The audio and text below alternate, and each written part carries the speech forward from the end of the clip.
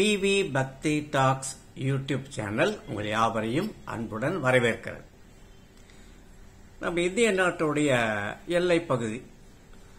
அந்த எல்லை பகுதியில் எதிரி நாட்டு வீரர்கள் அத்துமீறி உள்ளே நுழைந்தார்கள். அதை நம் நாட்டு வீரர்கள் மிகவும் சாமர்த்தியமாக அவர்களை விரட்டி அடித்தார்கள்.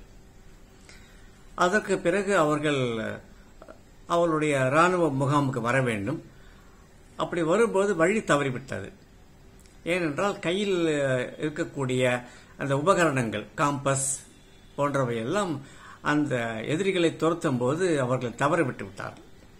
சரி சொல்லிட்டு அங்க ஒரு அடர்ந்த காடு இருந்தது. இந்த காட்டு வழி போய் பார்க்கலாம் அப்படின்னு போறாங்க. போறாங்க போறாங்க. ரொம்ப அடர்ந்த காடு. அவர்கள் அப்படியே அதில் தடுமாறி போயிட்டு இருக்காங்க அதுக்கப்புறம் பார்த்தா ஒரு திறந்த வெளி வருது. சரி சொல்லிட்டு அந்த மணல் நடக்க ஆரம்பிக்கிறாங்க. ஏதோ ஒரு கிராமம் தென்படும். ஏதோ ஒரு சின்ன குக்கிராமம் கூட இருக்கும். அதில் போய் நம்ம விசாரிக்கலாம் அப்படின்ட்டு நினச்சிட்டு போகிறாங்க ஆனால் ஒரு கண்ணு கட்டிய தூரத்தில் குக்கிராமம் தெரியல. ஒரு மணல் வெளியாக தான் இருக்குது திறந்த வெளியாக இருக்குது எல்லா வீரர்களும் சோர்ந்து விட்டார்கள். அந்த தலைவன் என்ன பண்ணான் அந்த படைத்தலைவன் அவர்கள் அப்படி கொஞ்சம் சந்தோஷப்படுத்தி உற்சாகப்படுத்தி கூட்டிகிட்டு போகிறான் அதற்குள்ளே இருட்டிடுச்சு. சரி இனிமேல் நம்ம வந்து மேற்கொண்டு போகிறது அர்த்தமில்லை சொல்லிட்டு அவங்க கையில் இருந்த சில பொருள்களை வைத்து ஒரு சின்ன கூடாரம் அமைத்தாங்க.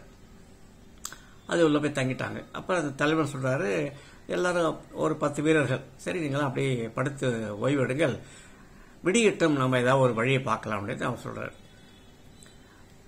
பார்த்தா அவங்க கையில் இருந்த பையில வந்து ரொட்டி துண்டாக ஆகிப்போச்சு அந்த குடிநீர் பாட்டில் எல்லாமே காலியாகிவிட்டது எல்லோருக்கும் ஒரு பக்கம் பசி ஒரு பக்கம் தாகம் சரி சொல்லிட்டு அமைதியாக படுத்து விட்டார்கள்.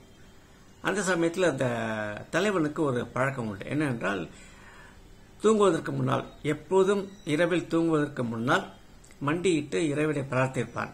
அதற்கு பிறகுதான் உறங்க செய்வான் செல்வான். அதே போல் அங்கேயும் அந்த தலைவன் வந்து மண்டியிட்டு இறைவா இன்றைய நாள் இனிமையாக கழிந்தது. உனக்கு நன்றி என்று கூறி வணங்கினான்.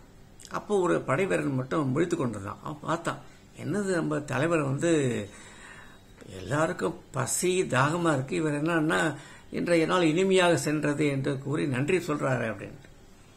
அதையும் நேராக கேட்டுட்டான் தலைவங்கிட்டே என்ன சார் இப்படி சொல்றீங்களா எனக்கு ஆச்சரியமா இருக்கு. எல்லாரும் பசி பசின்னு படுத்துட்டு இருக்காங்க. குடிக்க தண்ணி இல்லை தாகம் தொண்டை வறண்டு போயிருக்கு. இப்போ போய் நீங்கள் இறைவனுக்கு நன்றி சொல்லிட்டு இருக்கீங்களே. அவர் ஒன்றும் சொல்லலை. சரி விடியட்டம் பார்க்கலாம் சொல்லிட்டு படுத்துட்டார். விடிந்தது தலைவன் வந்து வெளியே போய் பார்த்தாரு. பார்த்தா கொஞ்சம் தூரம் நடந்து போய் பார்த்தா ஒரு சின்ன கிராமம் கண்ணுக்கு தெரிஞ்சது. சரி வாங்க சொல்லி கூட்டிகிட்டு போகிறார் அங்கே போனால் ஒரு பத்து குடும்பம் தான் இருந்தது அந்த கிராமத்தில். அவங்கக்கிட்ட இருக்கிறதோ வெறும் கஞ்சி தான். அதில் உப்பு கூட கிடையாது. பச்சை மிளகாய் கிடையாது கடிக்கிறதுக்கு. தண்ணி மட்டும் பார்த்தா இருக்குது ஆனால் சொல்கிறாங்க இது வந்து எப்பயோ நாங்கள் எடுத்து வச்சதுங்க பத்து நாள் கூட இருக்கும் தண்ணி அப்படின்ட்டு. பரவாயில்ல சொல்லிட்டு எல்லாரும் என்ன பண்ணுறாங்க அந்த கஞ்சியை குடிக்கிறாங்க. பசி ஆடுறாங்க அந்த தண்ணியை குடிக்கிறாங்க. தாகம் தீர்ந்தது. அதுக்கப்புறம் அவங்களுக்கு கொஞ்சம் புத்துணர்ச்சி கிடைச்சது. அந்த சமயத்தில் பட பட பட சத்தம்.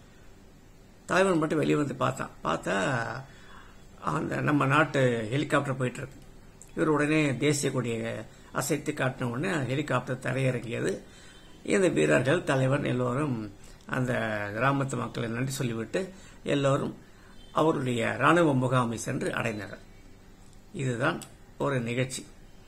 இந்த நிகழ்ச்சியிலிருந்து நமக்கு என்ன தெரியுதுன்னா அந்த பசி தாகம் சொல்வது என்ன என்றால் அந்த தலைவர் என்ன சொல்றாரு? பசியை பத்தி அருமையான பசி.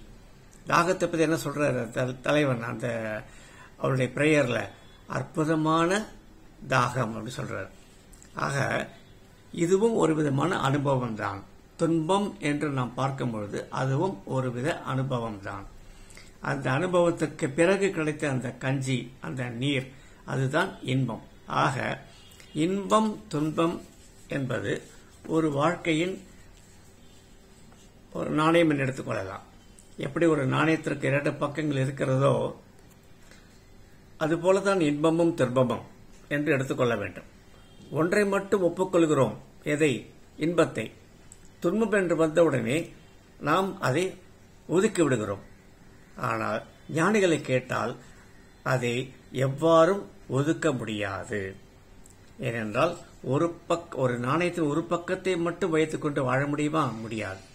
அந்த துன்பத்தின் அனுபவத்தை எவன் ஒருவன் பெறுகிறானோ அதற்கு பிறகு கிடைக்கக்கூடிய இன்பம் அந்த துன்பத்தினுடைய அந்த முக்கியத்துவம் அதனுடைய தாத்பரியம் நமக்கு தெரிகிறது. அப்பொழுதுதான் நாம் நம்முடைய நம்முள் இருக்கக்கூடிய அந்த மனித நேயத்தை உணர முடியும். அந்த மனித நேயத்தை நாம் நம்முடைய சமூகத்தில் நாம் பகிர்ந்து கொள்ள முடியும். இதை செய்யாவிட்டால் வெறும் இன்பமே ஒரு மனிதன் வாழ்ந்து கொண்டிருந்தால் அந்த இன்பத்தால் அவன் மனித நேயத்தை பெற முடியாது. அதனால் அவன் மனிதனை மனிதனாக மதிப்பதில்லை. மனிதனுள் இருக்கும் இறைவனையும் அவனால் காண முடியவில்லை என்று தெரிகிறது. மேற்கொண்டு பார்ப்போம். வணக்கம்.